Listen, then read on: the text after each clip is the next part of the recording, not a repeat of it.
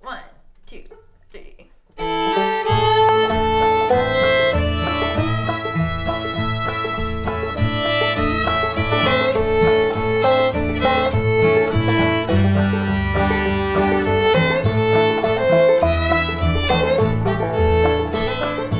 I was born in the